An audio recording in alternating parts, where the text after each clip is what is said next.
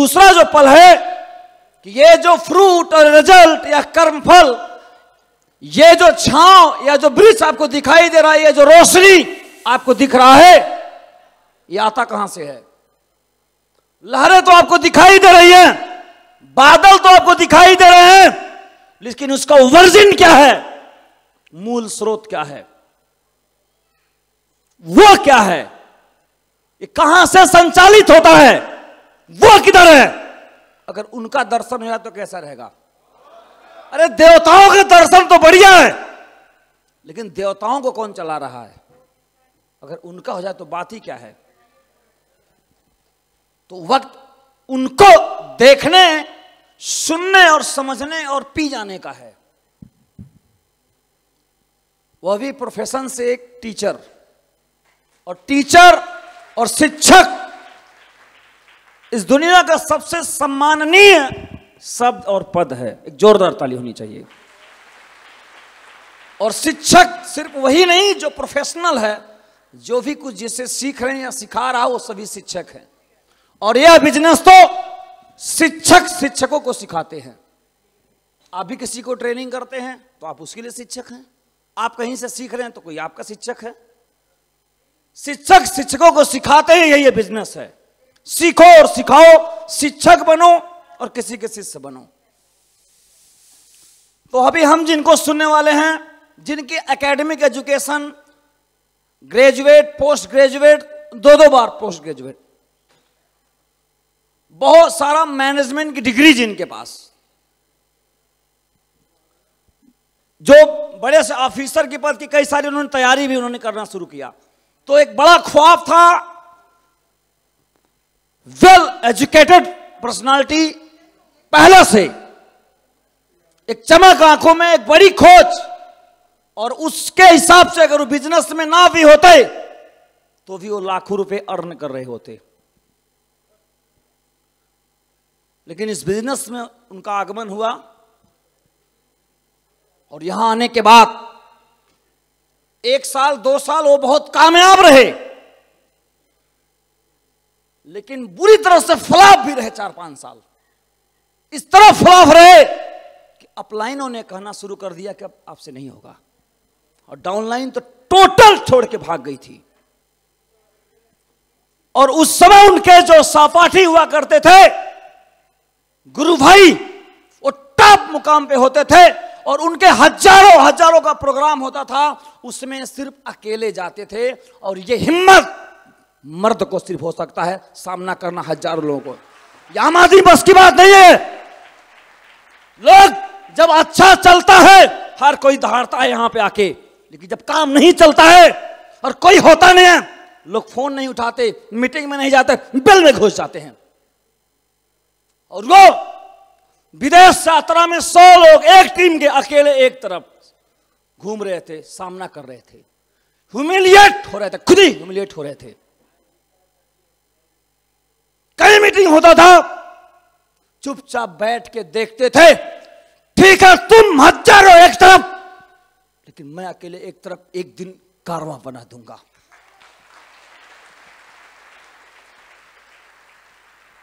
और ऐसा उनको करने में सात वर्ष का समय लगा। कितना लगा? और 2009 से फिर से एक पारी उन्होंने खेलना शुरू कर दिया। और आगे की कहानी वो खुद बताएँगे।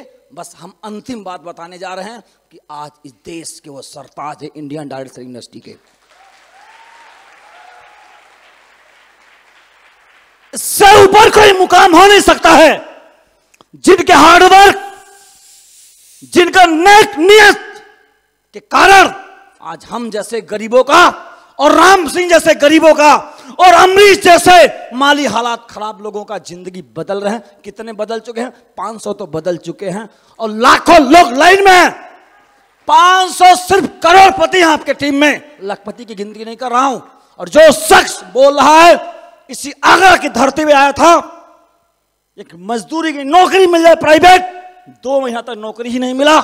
इस सेफ़ बिज़नेस मिला। और मिलने के बाद उसमें मेरे पिताजी नहीं थे। और तब से मैं सर के सानिध्य में हूँ। सिवाय यश के, आज तक कुछ बोला नहीं है। लगातार सिर्फ़ उनका राइट हैंड बन के रहा हूँ और फक्र बन के रहा हूँ। और जब तक सांस रहेगी, तब तक रहूँगा, ये बोलने की बात नहीं है। दर बदलो इंसान नहीं हूँ।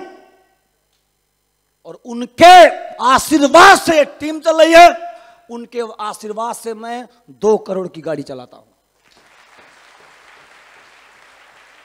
जब आप दो करोड़ की गाड़ी लेते हैं तो उसको चलाने में कम से कम मेंटेन करने में दो करोड़ और लगता है। हेलो और चार करोड़ में किसी को मिल जाए ना तो जीवन कट जाएगा उसका। और उतना तो सिर्फ़ धुएँ में निकल गया। आपकी कृपा से ऐसे महान शख्सियत को किस शब्द, किससे नवाजना चाहेंगे आप? एक की कहानी है सिर्फ़ परशुराम की, ऐसे हज़ार परशुराम उनके नीचे हैं। तो उन शख्स को सुनना, उनको सुनना आपके जीवन के हज़ार उपलब्धियों में उपलब्धि है। हम चाहेंगे गड़गड़ाती हुई तालियों के साथ में जोरदार तालियों को बुलाते हैं मंच पे। हम सभी के पथ प्रदर्शक राइडिमस के फाउंडर लीडर आदरणीय श्रीमान बहुत बहुत शुक्रिया इतना प्यार, सम्मान, आशीर्वाद देने के लिए। बहुत बहुत धन्यवाद। आप सबके प्यार, आशीर्वाद के लिए जो तालियाँ आपने मेरे लिए बजाई, जो आशीर्वाद दिया तो मैं बदले में तो क्या दूँगा, लेकिन परमात्मा से ऊपर वाले से जो सबको देता है, उसी से प्रार्थना करता हूँ आप सबके लिए कि मुझे जो आपने प्यार आशीर्वाद दिया, उससे कई गुना ज़्यादा प्यार का हकदार, तालियों का हकदार, आशीर्वाद का हकदार ऊपर वाला आपको बनाए। आपके घर में बहुत सारी खुशियों के दीपक जलें। तरक्की हो। आपके परिवार में डायमंड एक नहीं, दो नहीं कई कई लोग बने। मैं ऐसी प्रार्थना करता हूँ ऊपर वाले से। आज इस मंच पर मुझे खड़े होने का मौका मिला। तो इसके लिए मैं अपने आप को ऐसे मानता हूँ कि जितनी खुशी आपको हुई इस फ़ंक्शन का हिस्सा बन करके, उतनी ही खुशी मुझे भी हुई। मुझे भी बहुत अच्छा लगा। और मैं अपने आप को सौभाग्यशाली मान रहा हूँ लक्की मान रहा हूँ लक्की फील कर रहा हूँ कि मुझे हमारे परिवार के ऐसे दो नगीने जिन्होंने मेहनत करके इस मकाम को अचीव करा और उन्होंने सपना देखा था एक दिन, उस सपने को हासिल करके दिखाया। जे यहाँ इस मंच पर खड़े होकर के मुझे मालूम है, मैं जिन लोगों से बात कर रहा हूँ तो मुझे पता चला कि जो यहाँ पर इस हॉल में जो लोग बैठे हुए हैं तो लगभग हंड्रेड परसेंट हमारा पूर्वांचल बैठा हुआ है। तो मैं एक ऐसी मिट्टी से बात कर रहा हूँ, जिस मिट्टी ने हमेशा, जिसका हज़ारों सालों का इतिहास रहा है, इस मिट्टी ने वीर पैदा किए हैं, इस मिट्टी ने योद्धा पैदा किए हैं, इस मिट्टी ने चाहे राजनीति का क्षेत्र हो, चाहे औद्योगिक क्षेत्र हो चाहे व्यावसायिक क्षेत्र हो, चाहे अवसर देने की बात हो, चाहे ब्यूरोक्रेट्स की बात हो, हर क्षेत्र में हमेशा अव्वल नंबर पर रहा है। इस क्षेत्र ने, पूर्वांचल ने शेर पैदा किए हैं। और ये इतिहास बताता है, यही का निकला हुआ शेर मंगल पांडे ने अकेले बिल्कुल बजा दिया था अंग्रेज़ों के खिलाफ कि मैं स्वीकार नहीं करूँगा, मैं स्वीकार नहीं करूँगा। ये मिट्टी वो मिट्टी है जो शेर पैदा करती है। ये मिट्टी वो मिट्टी है जो वीर पैदा करती है। और यहाँ के ढेर सारे लोगों ने जब हर क्षेत्र में नाम कमाया है तो सेब सॉप में पीछे कैसे रह सकते हैं? सेब, मेरे जीवन में यह बिज़नेस ने दस्तक दी, मेरे भाग्य की रेखाओं को खटखटाया, दरवाजे पे दस्तक दी 2003 में। मेरे पिताजी सरकारी नौकरी में थे, दादाजी सरकारी नौकरी में थे, मैं भी सरकारी नौकरी करने की तैयारी कर रहा था। 2003 में दस्तक दी सेब सॉप ने। और मेरे भाग्य के दरवाजे खोलने के लिए कोई भी डायमंड बनना नहीं चाहता, क्योंकि डायमंड बनने का सपना कोई नहीं देखता है। वह टीचर बनने का सपना देखता है, फौजी बनने का सपना देखता है, सिपाही बनने का सपना देखता है बैंक में जाने का सपना देखता है, अधिकारी बनने का सपना देखता है, वकील बनने का सीए बनने का, कुछ बनने का। डायमंड बनने का सपना कोई नहीं देखता है। ये सब कुछ एकदम नया है। यह कोई लेना नहीं चाहता, ये तो कोई दे जाता है। और मेरे साथ भी ऐसा ही हुआ, इस बिज़नेस को मेरे को दे दिया गया, मुझे समझ नहीं थी, इस बिज़नेस को कैसे करना है, कैसे चलाना है, मुझे नहीं मालूम था। और दे दिया गया। जब कोई चीज़ ऐसी आपको मिल जाती है जिसके बारे में आपको महत्व ही नहीं मालूम तो आप उसे संभाल के क्यों रखोगे भला? जब आपको मालूम ही नहीं कि कीमती है वेश कीमती है तो फिर आप उसका मूल्य नहीं जानते तो फिर उसको संभाल के कहाँ रखोगे? तो मेरे लिए मूल्यहीन था, इसलिए मैं संभाल के नहीं रख पा रहा था। एक फ़ंक्शन में गया, वहाँ से बहुत फायरअप हुआ, बहुत मोटिवेट हुआ, मुट्ठी बाँध के आया कि हम भी डायमंड बनेंगे। सब बांधते मुट्ठी, मैंने भी बाँध ली। लेकिन मेरे अपलाइन ने बोला, अगले ही दिन कि आप मुट्ठी बाँध के आए डायमंड बनोगे। तो डायमंड बनोगे तो कैसे बनोगे? मुझे समझाओ। तो मेरे पास समझाने के लिए कुछ भी नहीं था। मैं क्या समझाऊं? मैं कैसे बनूँगा? मैं बोला, सर, आप ही बताओ। बोला, मैं ऐसे नहीं बताऊँगा। आप ट्रेनिंग में आना शुरू करो। ट्रेनिंग में आओगे, फिर बैठ के समझते हैं, समझाते हैं। ट्रेनिंग में गया। ट्रेनिंग में जाने के बाद एक कहानी सुनी। वो कहानी मैं आपको सुनाता हूँ। इससे पहले आपने सैकड़ों बार सुनी होगी। उन्होंने बोला कि बहुत समय पहले की बात है। सैकड़ों साल पहले, सैकड़ों साल पहले एक किसी एक नदी के किनारे बहुत सारे बंदर बंदरिया खेल रहे थे। और उस समय पर आकाश में एक आकाशवाणी होती है। आकाशवाणी में बोला गया कि आज जो घड़ी है, आज की घड़ी सैकड़ों सालों में कभी कभी बनती है। आज बहुत शुभ मुहूर्त है। और इस शुभ घड़ी में कोई भी बंदर, बंदरिया अगर इस नदी में कूदेगा तो सुंदर सा राजकुमार बनेगा, या सुंदर सी राजकुमारी बन जाएगा। तो यह आकाशवाणी सबने सुनी एक कान से सुना, दूसरे से बाहर निकाल दिया। लेकिन थोड़ी देर के बाद एकदम हलचल होना शुरू हुई, एक डाली पे एक बंदर उछलने लगा और पता नहीं क्या उछला, वो सीधा नदी में कूद गया। नदी में कूदने के बाद एक सुंदर सा राजकुमार बन गया। जब राजकुमार बन के बाहर निकला सारी घटना को वहाँ पर एक शिकार पर राजकुमारी आई हुई थी, उस राज्य की। उस शिकारी जो उसके साथ थे, सैनिक उस सैनिक के माध्यम से उस राजकुमार को अपने नज़दीक बुलाया। राजकुमारी ने और राजकुमार से पूछा, जो बंदर था, राजकुमार बन चुका था, उससे पूछा कि मैंने पूरी घटना को अपनी आँखों से देखा, मैंने आकाशवाणी को भी सुना और आप राजकुमार बन गए, आपने कूदने का निर्णय लिया, मैं आपसे जानना चाहती हूँ, आपने ऐसे क्यों किया? तो जो राजकुमार, बंदर राजकुमार बन चुका तो उसने जवाब दिया, राजकुमारी साहिबा आकाशवाणी आपने सुनी होगी तो मैंने भी सुनी थी। उसमें बोला गया कि जो भी आज बहुत घड़ी है, सैकड़ों वर्षों में एक बार होती है, पहले तो मेरा मन नहीं माना कि मैं भला कहाँ डायमंड बन सकता हूँ, मैं भला कहाँ राजकुमार बन सकता हूँ, सब बेकार की बातें हैं। ये आकाशवाणी सच हो ही नहीं सकती। फिर दूसरी बात दिमाग में ये आया, आकाशवाणी में बोला गया कि कूद जाओगे तो राजकुमार बन जाओगे, ये तो बोला नहीं कि बंदर से कुछ और बन जाओगे, भालू बन जाओगे, कुत्ता बन जाओगे, कुछ और बन जाओगे। हमने सोचा आकाशवाणी झूठी भी निकलेगी तो कौन फ़र्क पड़ता है? ठंडे पानी में नहा के निकल आएँगे, क्या फ़र्क पड़ता है? राजकुमार बने तो बढ़िया, नहीं तो ठंडे पानी में निकल के बाहर आ जाएँगे। राजकुमारी जी प्रभावित हो गई और बोली, मुझसे ब्याह करोगे? तो थोड़ी देर पहले बंदर था, अभी राजकुमार हो गया और थोड़ी देर के बाद राजा भी हो गया। अभी तो ये कहानी सुनने के बाद सबने तालियाँ बजाई। मेरे अपलायन ने, मेरे पास शाबाश पीठ ठोकी, लग रहा है मोटिवेट हो गया। कहानी सुनने के बाद, माधव जी, क्या समझ में आया? मैंने बोला, सर, मेरी समझ में आ गया, काश वो बंदर हम होते। अपलायन ने माथा ठोका अपना। बोला, तुम लिखवा के ले लो, तुम कभी जन्म में मास्टर न बन पाओगे। अरे तुमको इतना ज्ञान नहीं है, कहानी में से क्या सीखना है? और ये बोले, बंदर होते। फिर उन्होंने समझाना समझ सर, आप समझाओ। उन्होंने बोला माधव जी आकाशवाणी तो आज भी हो रही है। मैंने कहा कहाँ हो रही? अरे, माइक पे चिल्ला रहे थे तो आकाशवाणी तेज होती है तो इसीलिए तो माइक पे बोला जा रहा था। आकाशवाणी तो है। वहाँ बहुत सारे थे पेड़ों पे, यहाँ कुर्सियों पे हैं बहुत सारे। अब बोले, चलो, कूदते हैं। मैं बोला, सर, आप कूद गए, आप तो बने नहीं अभी तक। बोला मैं नहीं बना तो क्या हुआ? हम मिलके बनेंगे, इसमें कूदते हैं। फिर मेरे दिमाग में आया कि भाई, बात तो सही बोल रहे हैं। बात सही कह रहे हैं कि अगर इसमें कूदे इसमें कूदे इसमें कूदे अगर तो पूरा भरोसा है कि नहीं बनेंगे। सौ परसेंट भरोसा है, नहीं बनेंगे। लेकिन अगर तुक्का कोई लग गया, सालों में, सैकड़ों सालों में कोई ऐसी शुभ घड़ी अगर हुई तो बन गए तो क्या बनेंगे? डायमंड बनेंगे। और नहीं बने तो क्या बनेंगे? वो पहले से देख लेते हैं। बनेंगे, वो छोड़ो। नहीं बने तो क्या बनेंगे? वो पहले देख लेते हैं। तो अगर नहीं बने इसमें कुछ भी तो मास्टर तो है ही। वो कहाँ जा रहा है?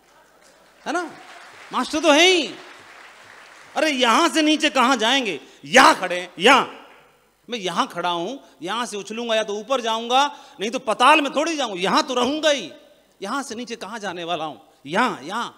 बस, ये छोटी सी, मोटी सी बात इस मोटी खोपड़ी में घुस गई। अब तो भाई इसमें कूदेंगे। अब कूदने के लिए, अब कूदना था, कूदेंगे। कई लोग क्या करते हैं, डाली को झुका के और पूंछ लटका के देखते हैं, नदी में पानी टेम्परेचर कैसा है। कूदते नहीं हैं। कतई नहीं कूदते। ऊपर से चेक करेंगे। पानी डाल के ऐसे। ठीक है कि नहीं है? फिर बोलते, कुछ नहीं होता, कुछ नहीं होता। मेरे को बोला कि कूदना है इसमें। मैं कूद गया। अभी इसमें कूदने के लिए मैं कूद तो गया। ये जो रास्ता है, ये हाईवे है। और ये हाईवे पे ये मंजिल की ओर जाता है। इस मंजिल पे चल के बहुत सारे डायमंड बने। इस कंपनी में बहुत सारे डायमंड बने। रास्ता सही है। तो रास्ता तो चुन लिया, रास्ता तो सही है। मंजिल की ओर लेके जाएगा और सही रास्ते पर सफलता पाने के लिए खड़े होना बहुत ज़रूरी है कि नहीं? है सही रास्ते का चुनाव करना बहुत ज़रूरी है कि नहीं? है रही सही रास्ते का चुनाव कर लिया, लेकिन इस रास्ते पर आगे खड़े हो गए तो मंजिल मिलेगी। अभी भी मामला अधूरा है। अधूरा है कि नहीं? कितने लोग मानते हैं अधूरा है? तो रास्ता तो मुझे मिल गया। अब इस पर दूसरा बात उन्होंने बोला कि माधव जी, अब इस पर क्या करना है? चलना है। जब चलोगे तो परशुराम जी की गाड़ी में बैठे, बलवंत जी की गाड़ी में बैठे, अंबिका जी की गाड़ी है, या आप लोगों की गाड़ियाँ हैं तो जब साइकिल, मोटरसाइकिल पे चलने वाले जब ऐसी गाड़ी में बैठते हैं, महँगी गाड़ी में तो मक्खन की तरह चलती हैं, सौ की रफ्तार तुरंत पकड़ लेती हैं, और ऐसी गाड़ी में बैठ करके, बड़ा दमदार गाड़ी है। लेकिन इतनी महँगी गाड़ी को चलाने के लिए भी सीखना ज़रूरी है कि नहीं है? कितने लोग मानते सीखना ज़रूरी है? रास्ता कितना भी अच्छा हो, गाड़ी कितनी भी अच्छी हो लेकिन चलाएँगे नहीं तो कहीं ठुक जाएगी कि नहीं ठुक जाएगी? सीखेंगे नहीं तो। हाँ ऐसे ही है। तो ये सेफ़ सॉफ जो कंपनी है, वो रेंज रोवर की तरह है, आपकी ड्रीम कार की तरह है प्रीमियम कार की तरह है। लेकिन प्रीमियम कार कितनी भी महँगी क्यों ना हो, चलाना नहीं जानेंगे तो कहीं भी घुसा दें, कभी इधर घुसा दें, कभी इधर घुसा देंगे। 90 परसेंट लोग इस बिज़नेस में इसीलिए असफल हो जाते हैं। रास्ता तो सही ले लिया, लेकिन चलाना ही नहीं सीखा। और नहीं चलाया, सीखा, और तो क्या होता है? चलाना नहीं आता। चलाना नहीं आता क्विट कर जाते हैं छोड़ देते हैं इधर उधर हो जाता है सीखते नहीं है मेरे को दूसरी बात उन्होंने बताई कि माधव जी इस बिज़नेस में कैसे चलाना सीखना है तो मैं प्रेजेंट में बात करूँ तो आप देखोगे मेरे को इस बिज़नेस में आने के बाद समझ में आया कि जहाँ पर भी जिस पोजीशन पर भी आप बैठे हैं जिस कुर्सी पर भी आप बैठे हैं तो देखेंगे जीवन में कई सारा सारे तरह की संपत्ति होती है कई तरह कई तरह की वेल्थ होती हैं कई तरह की वेल्थ होती हैं लेकिन हम लोग हमेशा ज़्यादातर इस फाइनेंशियल वेल्थ की ओर प्रभावित होते हैं। फाइनेंशियल वेल्थ भी होती है फ़िज़िकल वेल्थ भी होती है, बहुत सारी है मेंटल वेल्थ भी है सोशल वेल्थ भी है, और लिखते सकते हैं, बहुत सारी चीज़ें लिख सकते हैं। तो जहाँ पर आप बैठे हो, वहाँ पर भी परमपिता परमात्मा ने बहुत सारी चीज़ों से नवाजा है, खाली कोई नहीं है। किसी पे स्वस्थ शरीर की वेल्थ है, स्वस्थ शरीर का धन है, किसी पे परिवार का धन है, किसी पे सामाजिक संबंधों का धन है बहुत सारे ऐसे लोग देखे होंगे, आपने भारत में या दुनिया में, जिनके पास पैसा नहीं है, लेकिन ज्ञान की दौलत उनके पास। ऐसा है और उनको राष्ट्रपति पदक से नवाजा जाता है, भारत रत्न से नवाजा जाता है बड़े बड़े पुरस्कार दिए जाते हैं? ऐसा? तो क्या वो गरीब है? नहीं। उनके पास वह दौलत है, मेंटल दौलत है। किसी के पास बहुत अच्छे संबंध होते हैं, पैसा नहीं होता। उनके पास संबंधों की दौलत है। है ना? किसी के किसी के पास आप देखेंगे, अभी यहाँ बाउंसर्स घूम रहे थे, उनको देख के जलन हो रही होगी कईयों को तो नहीं? टाइगर, दमदार दमदार। तो गरीब है क्या वो? उनके पास शरीर की दौलत है। है कि नहीं? उस मामले में अमीर है कि नहीं? अरे बोलो ना। तो कई तरह की दौलत होती है, कई तरह की। वो पैसा वाला दौलत एक ही है, बस मात्र एक तरह की है। लेकिन वह भी हो तो और अच्छा है। लेकिन कई सारी तरह की दौलत चाहिए होती हैं। उन दौलतों में से हो सकता है आप डायमंड को देखो तो वो फाइनेंशियल वेल्थ आपको प्रभावित कर रही हो। लेकिन उन चीज़ों के लिए भी, तमाम चीज़ों के लिए शुक्रिया अदा करना चाहिए ऊपर वाले को कि आपके पास आपके घर घर रूपी, परिवार रूपी, बच्चों के रूप में, समाज के रूप में, परिवार के रूप में बहुत सारी दौलत है। उसके लिए शुक्रिया अदा करना चाहिए। और जो नहीं है, उसके लिए तैयारी कर लेनी चाहिए जीत की और हासिल करने की। है कि नहीं? है तो मैं शुक्रिया अदा करना चाहता हूँ, मैं भी। और बहुत ग्रेटफुल रहता हूँ कि मेरे को बहुत कुछ मिला। पहले से भी परमात्मा ने दिया और सेफ़ शॉप में आकर के भी बहुत कुछ मिला। सेफ़ शॉप ने झोली भर दी। इसके लिए मैं जितना भी शुक्रिया अदा करूँ, उतना कम है। और मैं, ये देखें, ढेर सारे लोग, फ़ोटो तो कितने लोगों का लगाएँ, लाइन लगा के दौलत बनती चली जा रही है। मैं ये देखता हूँ कि मेरे को ये बिज़नेस में काम करने के बाद, ये समझ में आ गया कि रास्ता तो सही है। ये रास्ते पे चलूँगा, ये मंजिल तक मुझे लेके जाएगा इस समझ में तो आ गया, और मैं आगे खड़ा हो गया। अब खड़े होने के बाद में, कितना भी सही रास्ता क्यों ना हो, मैं अगर इसमें सही तरीके से चलना नहीं सीखूँगा तो कभी भी मंजिल तक नहीं पहुँच सकता। इस बात को आप मानते हैं? तो रास्ता चुनना पहली बात है। तो रास्ता भी सही होना ज़रूरी है, लेकिन उतना ही महत्वपूर्ण दूसरी चीज़ भी है, और वह है कि आपको इसको चलाना भी सीखना पड़ेगा। ये मेरे को ट्रेनिंग में सीखा। तो मैंने बोला, ठीक है, इस बिज़नेस में इसको चलाना सीखेंगे। और चलाना सीखने के लिए चाहे प्लान दिखाना है, इस बिज़नेस को प्रमोट करना है, इस बिज़नेस को समझना है, कैसे रखना है, कैसे समझाना है, कैसे सामने वाले से बात करनी है, उसको बहुत सारे प्रश्न ऑब्जेक्शन आएँगे, उनको कैसे हैंडल करना है, इस बिज़नेस में रजिस्ट्रेशन कैसे डालने हैं, इस बिज़नेस की बारीकियों को कैसे समझना है, चाहे समझने में एक दिन में नहीं समझोगे, समझने के लिए थोड़ा थोड़ा अभ्यास करोगे लगातार, आप गाड़ी चलाओगे तो एक दिन में नहीं सीखोगे, लेकिन जितनी ज़्यादा ड्राइविंग करोगे करत करत अभ्यास के, जड़मत हो सुजान लगातार लगातार अभ्यास करोगे कर करके कर करके कर करके अभ्यास बनता चला जाएगा। ऐसे है कि नहीं है? ऐसी बिज़नेस में आप करते रहोगे करते रहोगे करते रहोगे करते रहोगे करते रहोगे तो आपका अभ्यास बनता चला जाएगा। है ना? तो इसमें चिंता करने की ज़रूरत नहीं है कि अभी कितना जानते हो? कोई चिंता की बात नहीं। जितना जानते हो, लग पड़ो। सीखने का अभ्यास करिए, अपने आप को तैयार करना है। ये मैंने दूसरी बात सीखी। और दूसरी बात के लिए, तीसरी बात, मैंने इस रास्ते पे आगे खड़ा भी हो गया और मैंने चलना भी सीख लिया। दोनों पूरे हो गए। अब सही है कि नहीं है? लेकिन अभी भी अधूरा है। मैं चल ही नहीं रहा इस पर मैं रजिस्ट्रेशन डालना सीख लिया, मैं कोर हो गया, मैं रास्ता भी सही चुन लिया सेफ़ सॉफ जैसा। लेकिन मैं, और मैं कोर भी हूँ हंड्रेड परसेंट लेकिन मैं चल ही नहीं रहा। अरे थोड़ा ही चलो, इस रास्ते पे मैं थोड़ा भी चलूँगा तो मंजिल की तरफ़ थोड़ा आगे बढ़ूँगा कि नहीं बढ़ूँगा? है? थोड़ा ही चलूँ, हर रोज चलूँ। इस बिज़नेस में मैंने नियम सीखा कि माधव जी, हर रोज लोगों से मिलना, चाहे तो प्लान दिखाने के लिए, चाहे फॉलो करने के लिए बिज़नेस को बढ़ाने के लिए, हर दिन लोगों से मिलना, थोड़ा ही सही, लेकिन हर रोज करना। यह नियम इसी तरह काम करता है, जैसे आप व्यायाम हर दिन करें, एक दिन घंटों कर डालें, पता नहीं कुछ होगा कि नहीं होगा, लेकिन दस दस मिनट भी, अगर आपने पाँच पाँच मिनट भी है किया तो कुछ महीनों में, कुछ सालों में परिवर्तन दिखाई देना शुरू हो जाता है। ऐसा हो जाता है कि नहीं हो जाता है? हमारा बिज़नेस भी ठीक इसी तरह से है। उन्होंने बोला कि अपलाइन ने बोला कि, माधव जी, इस पर हर रोज चलना। आप नौकरी में आ गए हो। मेरी सरकारी नौकरी भी लग गई उसके बाद। तो नौकरी में आ गए हो, लेकिन आपकी प्राथमिकता क्या है? आप बनना क्या चाहते हो? मैं बोला, सर, मैं तो कूदना चाहता हूँ इसमें। बोला, कूदना है तो हर रोज करना है। तो अब रास्ता सही मिल गया। मैं चलाना भी सीख लिया और मैंने चलना भी शुरू कर दिया। तो अब सही है कि नहीं? अब मंजिल पहुँच जाऊँगा कि नहीं पहुँच जाऊँगा बोलो। नहीं अपलायन ने बोला, अभी भी खतरा है। अभी भी खतरा है। मैं बोला, जल्दी बताओ कहाँ खतरा है? बोला, अभी ये खतरा है, जब आप चलते हो तो चलने में सफ़र करने में रास्ता भ्रम होने का डर रहता है। दिशा भ्रम होने का डर रहता है। कितना भी बड़ा समुद्री नाविक हो, दिशाहीन हो जाता है। कभी भी आप डेजर्ट में जाओगे, दिशाहीन हो जाते हो। हमारे बिज़नेस में अकेले चलोगे, दिशाहीन हो जाओगे, पता ही नहीं चलेगा। और पहुँच जाओगे तो पता चलेगा पहुँचने के बाद कि यहाँ तो आना ही नहीं था। इसलिए इसके लिए दिशा बताने वाले को बहुत ढूंढ के रखना।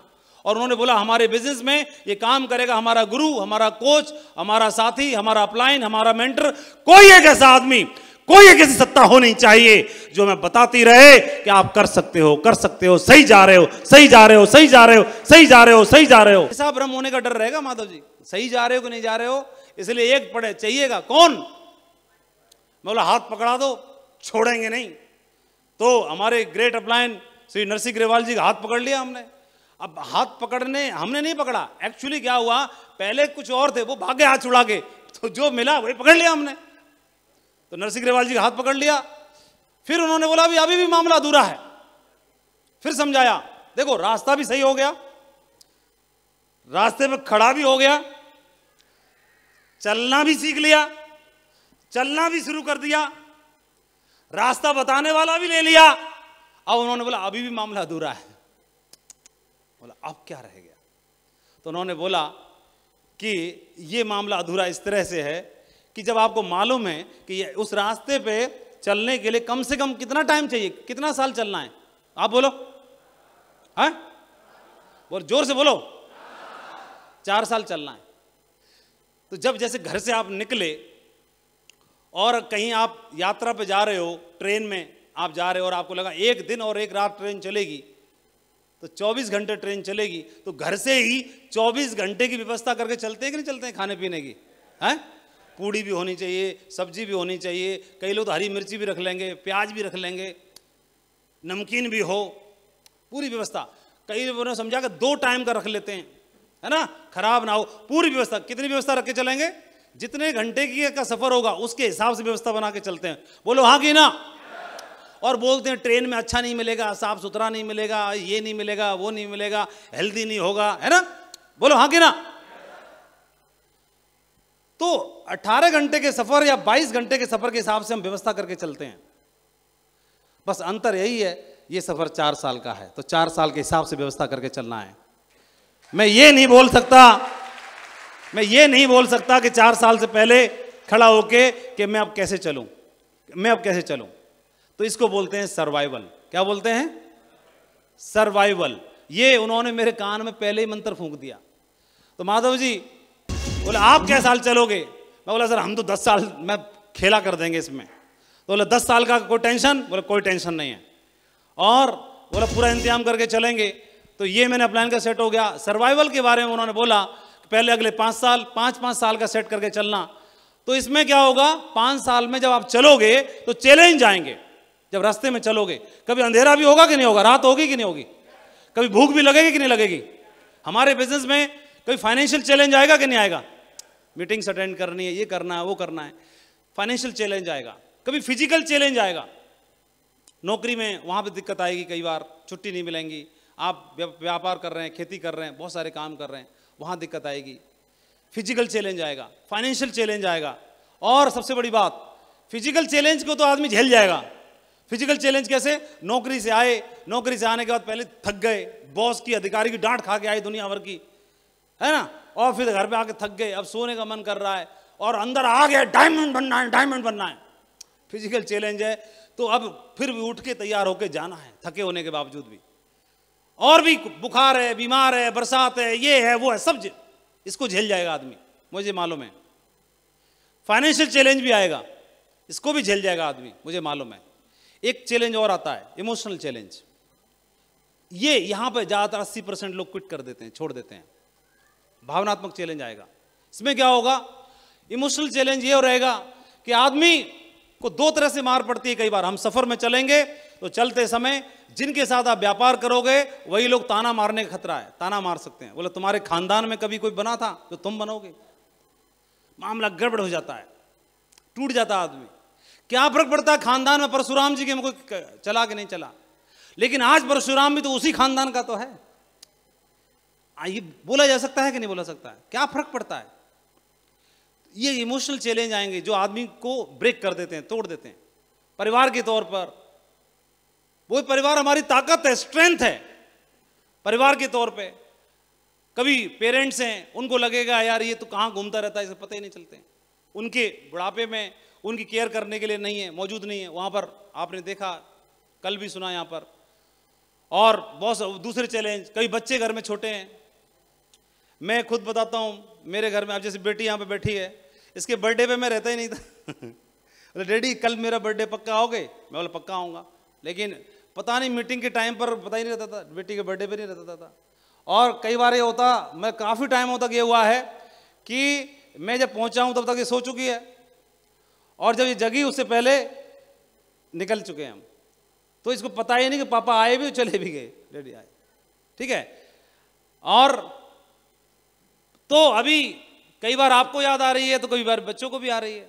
तो ये, लेकिन आप जो भी कर रहे हो, वो कर किसके लिए रहे हो? परिवार के लिए कर रहे हो। पेरेंट्स से आप अलग हो, बच्चों से हैं। कई बार आपको कोई फाइनेंशियल चैलेंज भी है, कई बार ऐसी घटना दुर्घटना भी हो जाती है।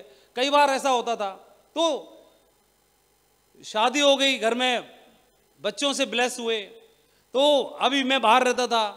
तो अभी कई बार बच्चे बीमार हो जाते। होते छोटे बच्चे बीमार होंगे कि नहीं होंगे? मैडम को बोलता कि भैया संभालो।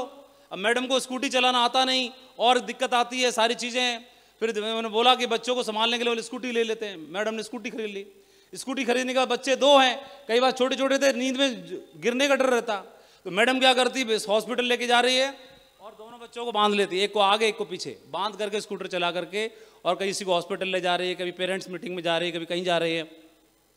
अपने को टेंशन नहीं लेने दी। तो हमारी सफलता में मैडम का बहुत बड़ा हाथ है। तो बोला, हम संभालते हैं घर को, आप बाहर को संभालो। फिफ्टी फिफ्टी कर लेते हैं, कोई दिक्कत की बात नहीं। बच्चों का भी है, बच्चों ने कभी ये नहीं, शिकायत दर्ज नहीं की। लेकिन ये ये चीज़ें कई बार क्या होता है, मैनेज करने की हैं। लेकिन अगर आप पूछोगे कि जो भी नहीं रहे तो क्या फ़र्क पड़ता है? अगर अभी बच्चों से पूछो, बेटा, कैसी है कंपनी सेफ़ शॉप कैसी है? ऐसे खड़े होकर दिखा दो सबको। इधर इधर इधर दिखाओ। खड़े हो गए कंपनी कैसी है? सेफ़ सॉफ कैसी है? अच्छी है? दमदार। तो अभी आप क्या बोलेंगे? मतलब इस बिज़नेस ने जीवन में क्या दे दिया? मैं किन शब्दों में बताऊँ? क्या बताऊँ? इन बच्चों को जैसे बोलते हैं कि बेटा घूमने जाना है। तो ऐसे सोचते हैं। देखो डैडी, गोवा की बोलना मत, जिम कार्बेट की बोलना मत, नैनीताल की बोलना मत, वहाँ की सिक्किम की बोलना मत, जैसलमेर की बोलना मत, जयपुर की कहमत देना गलती से, अजमेर हम जाएँगे नहीं, उदयपुर का मूड है नहीं हमारा, इधर जाएँगे नहीं, हिमाचल जाएँगे नहीं, मध्य प्रदेश जाएँगे नहीं, राजस्थान तो मूड है नहीं। मैं बोला, कहाँ ले जाएँ? फिर देखते हैं, सिंगापुर सोच सकते हैं हम जाने की। वो भी सोचेंगे। इनके मुँह पे इसलिए बोल रहा बोलोगे, ऐसे ही बोलते हैं। ये सेफ़ सोप की देन है। मतलब क्या आप बोलोगे? हैं? तो सेफ़ सोप क्या, किस लायक बना देती है? अभी लेकिन जब अपना पेट भर जाता है तो फिर लगता है, यार, बगल वाले की थाली में भी अब रोटी आनी चाहिए, है ना?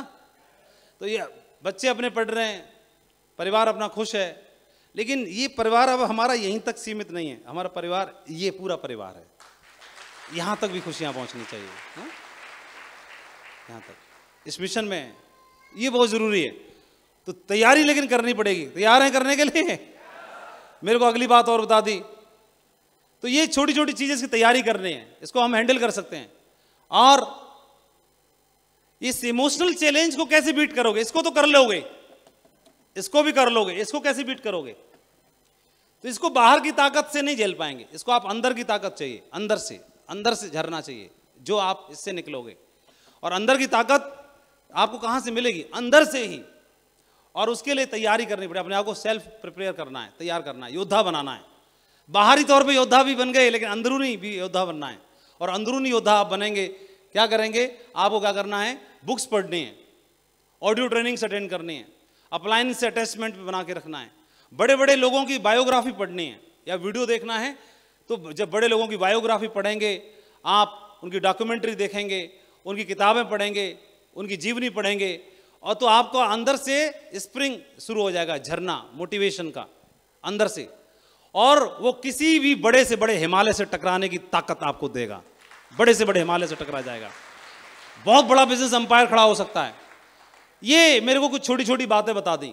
अभी उन्होंने बता दिया ये मास्टर में था, उन्होंने बता दिया कि माधव जी, अगर टेस्ट होगा तो ये ये सिलेबस आएगा। और इसका ये आंसर है। अगर ये पहले पता चल जाए तो फिर बाद में बीट कर देंगे, नहीं कर देंगे एग्ज़ाम को। बस मेरे को सिलेबस में छह पॉइंट बता दिए। ये वाले पॉइंट, देखो, दोबारा से पढ़ते हैं। ये पॉइंट बता दिए। बोले, माधव जी, क्या करना है? ये रास्ता तैयार कर लिया, पहला। दूसरा उन्होंने बोला, इसको सीखना है। तीसरा बोला, चलना है हर रोज। सीखने से फ़ायदा क्या होगा फिर? चलना हर रोज है। और कॉपी कर लेना अपलाइन को। कोई चिंता की बात नहीं है, जो नहीं आता है। और बताया अपलाइन के रेंज से दूर मत होना कभी भी। और अगले पाँच साल का व्यवस्था करके चलना। माइंड सेट करके रखना। कैसे हैंडल करोगे? क्योंकि करना मेरे को, पंगा मैंने लिया है, कूदना मैंने। और बता दिया, ये चैलेंज आएँगे। तो इसकी तैयारी करनी है। और तैयारी करनी है और बता दिया, इसके लिए ये आपको मदद करेंगे। ये पॉइंट्स मेरे को पता चल गए और अब पारी खेलनी है। तो जाओ बेटा, शाबाश, कूद जाओ। अब मैं कूद गया। तो कूद गया तो कई बार दिन होगा तो कई बार रात होगी। तो जब दिन दिन नहीं रहा तो रात रात कैसे रह सकती है? बताइए। कई बार चेक आएगा तो कई बार नहीं आएगा। बुरे से बुरा क्या होगा? कई बार एक लग चल जाएगी, कई बार दूसरी चल जाएगी। क्या फ़र्क पड़ता है? हालाँकि वो बात अलग है, अगरबत्ती लगाओगे, मन्नतें मांगोगे, जिस लेग के लिए वो नहीं चलेगी, दूसरी चल जाती है। कोई बात नहीं। क्या फ़र्क पड़ता है? लेकिन अब हम एक दिन का कैसे रिज़ल्ट देखें? रिज़ल्ट तो हमें हमेशा ओवरऑल देखना है कि दस, पिछले दस साल का, फिर दस साल का, फिर दस साल का। फिर मैं देखता हूँ तो मैंने 2003 में ज्वाइन किया तो मुड़ के देखें तो दस साल बाद देखें। लेकिन उससे पहले ही 2009 में मैं 2003 में ज्वाइन किया। 2009 में मैं डायमंड बन गया। छः साल का टाइम लगा, तीन से लेके नौ तक। छः साल में मैं डायमंड बना। फिर अगले छः में, नौ से लेके पंद्रह तक, अगले छः साल में मेरी टीम में सौ डायमंड हो गए। ये देखिए। फिर फिर अगले छः साल में, पंद्रह से लेके इक्कीस तक टीम में चार सौ डायमंड हो गए। और उसके बाद तो अभी छः साल हुए नहीं है, एक ही साल हुआ है। 2022 चल रहा है। आपने सुना ही होगा रॉयल ड्रीम टीम के 500 डायमंड स्टार क्रूज पे जाने वाले हैं।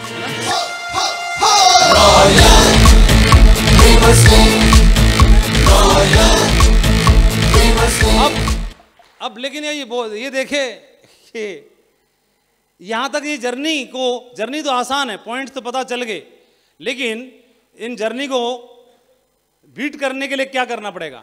ये कौन कर पाएगा? मालूम तो सब सिलेबस हो गया। तो एक कहानी के साथ मैं अपनी बात को खत्म करूँगा। और कहानी ये है कि एक बार चूहा एक जान बचाने के लिए जंगल में एक फकीर के आश्रम में, साधु के आश्रम में घुस गया। तो वहाँ पर बहुत सारे साधु के आश्रम में बहुत सारे चेले रहते थे और वहाँ पे जान बचाने के लिए पहुँचा और शरणागत हो गया कि मैं शरणागत हूँ। बाहर मेरी जान को खतरा है सांप का और बिल्ली का और खतरा है तो मैं शरणागत हूँ, मेरी जान बचाने के लिए आप मेरी मदद करें। बोले, ठीक है यार, इतने पलते हैं, एक और पलता रहेगा तो बाबा जी ने आशीर्वाद दे दिया, बोले, कोई दिक्कत नहीं, घूमता रहे, खाता रहे। अभी लेकिन जैसे घूमता रहा, तभी पता चला कि देखा कि बाबा जी के आश्रम में एक बिल्ली पहले से बंधी हुई है। दौड़ा दौड़ा गया, पूछ दबा के बोला, बाबा जी, त्राईमाम त्राईमाम। बोला, क्या हुआ? बोले, बिल्ली आपके यहाँ पहले से बंधी रखी है। बिल्ली से बचने के लिए आया बिल्ली पहले से बंद रखी है। मेरे को बचाओ। मैंने शरणागत आपके हूँ, आपकी ज़िम्मेदारी मुझे बचाना। तो बाबा जी बोले, देख यार, बिल्ली को तो मैं बोल नहीं सकता कि तू इसको खाना मत। क्योंकि ये तो उसका तो स्वभाव है, चूहा खाना। उसको मैं मना नहीं कर सकता। लेकिन तू अपना देख, इंतज़ाम कर कुछ। बोला, ना ना, आपकी ज़िम्मेदारी है। तो बोला, आप कुछ करो। तो बाबा जी ने बोला कि ठीक है, मैं तेरे को भी बिल्ली बना देता हूँ। एक मंत्र मारा और उस चूहे को बिल्ली बना दिया। बोला, अभी खुश? बोला, अभी खुश। बाबा जी की जय हो। अभी बिल्ली बन गया दोनों बिल्ली को किसी दोनों को एक दूसरे से खतरा नहीं है। चौड़ा होगी घूमती है, पूरा बिल्ली बन गया, चूहा वो। और घूमता चारों तरफ़। अभी उसी खुशी का ठिकाना एक हफ़्ते बाद खत्म हो गया। बाबा जी के आश्रम में एक कुत्ता शरणागत हो गया। क्या हो गया? त्राहिमाम करता हुआ आया बाबा जी मैं शरणागत हूँ, मैं मुझे अपनी जान बचाने के लिए मेरी कृपा दृष्टि बरसाएँ। बोले, क्या हो गया? कुत्ता, कुत्ते को देख के जो बिल्ली बन चुका था, चूहा, ये चेहरा पीला पड़ने लगा। बोले, इसको मत भगा देना भगा देना भगा देना। शरणागत है तो शरणागत को तो भाई भगा नहीं सकते। बाबा जी ने उसको भी एंट्री दिला दी। अभी एंट्री दिलाने के बाद इसकी सामत आ गई, जो बिल्ली थी। और ये बोला त्राईमाम मुझे बचाओ। मेरे को कुत्ते से खतरा है। तो उन्होंने बोला, देख, मैं कुत्ते का तो स्वभाव है। मैं कुत्ते को मना नहीं कर सकता कि तेरे को न खाए। बोला, नहीं नहीं, आपकी ज़िम्मेदारी मेरे को बचाओ। बोले, एक काम करता हूँ, तेरे को भी कुत्ता बना देता हूँ। उसे मंत्र मारा, उसको भी कुत्ता बना दिया। आज चौड़ा होके घूम रहा पूरा, क्योंकि उससे भी मज़बूत था। चौड़ा होकर घूम रहा है। ओए! मज़े लेने लगा पूरा। और तो छोड़ो, आश्रम से बाहर भी जाने लगा। हवा बाहर की ठंडी हवा लेके आता हूँ। बाहर की ठंडी हवा मार के जैसे ही बाहर की हवा लेने गया, उसको बेड़िया दिखाई दे गया एक। पूछ दबा के भागा भागा आया, बाबा त्राहिमाम त्राहिमाम बचाओ। बोले, अब क्या हो गया? बाहर भेड़िया था, जंगल के आसपास बहुत हैं, लेकिन हमारे गेट पे ही बाहर ही घूम रहे हैं दुनिया भर के, खा जाएँगे। तो बोले, क्या करना आप? बोले, आपकी ज़िम्मेदारी आप बचाओ। बोले, चल, तेरे को मैं मंत्र मार के भेड़िया बना देता हूँ। उसको भी भेड़िया बना दिया। और बनाने के बाद अभी तो उसका डर खत्म हो गया। डर खत्म हो गया और आश्रम में से बाहर जाके पूरा जंगल नापने चल दिया। देखता हूँ कौन है? बाबा जी पीछे चारों तरफ़ दौड़ने लगा। तभी उसको शेर की आवाज़ सुनाई दी। और जैसी शेर की आवाज़ सुनाई दी, पूछ दबा के फिर भागा आश्रम में। और बोला, त्राईमाम त्राईमाम त्राईमाम। बोला, अभी क्या हुआ? बोले बाबा जी बचाओ, शेर भी है जंगल में तो। बोले, अब क्या करना है? बोले, आप देखो बाबा जी बोले, साले, तेरे को मैं ना शेर भी बना दूँगा ना, लेकिन तेरा दिल तो चूहे का ही रहेगा। तू साले, तेरे से कुछ ना फटने का है। तेरे को मैंने बिल्ली बनाया, कुत्ता बनाया, भेड़िया बनाया, तेरे को शेर भी बना दूँगा ना, तू फिर भी पूछ दबा के आएगा। तेरे से कुछ ना होने का, जा, तेरे को वापस मैं चूहा ही बनाता हूँ, भाग यहाँ से। और मैं यही बोलना चाहता हूँ, ये जर्नी है। चाहे आज हमारा लेवल हमारा कद हमारी शिक्षा, हमारी डिग्री कुछ भी क्यों ना हो? कुछ भी क्यों ना हो? लेकिन जिसका जिगरा शेर का है वो इसमें इतिहास बनाएगा। शेर का है। मैं देखता हूँ। कोई बोलता है, ये आ गया, ये आ गया, ये आ गया। क्या बात करते हो? आज आप, आपका जिगरा अगर शेर का है, यहाँ पर आप इतिहास लिखेगा आपके नाम का एक दिन। इतिहास लिखा जाएगा आपके नाम का। और ये मंच आप सबका आह्वान करता है। तैयार हैं आप लोग? मिलेंगे आपसे दो साल के बाद। मैं डायमंड की ब्लैक बेल्ट आज पहनाने में खुशी मिली। और ज़्यादा मिलेगी जब आपको पहनाएँगे डायमंड की ब्लैक बेल्ट। बहुत बहुत धन्यवाद। बहुत बहुत शुक्रिया। जय हो आप सभी लोगों की। Thank you very much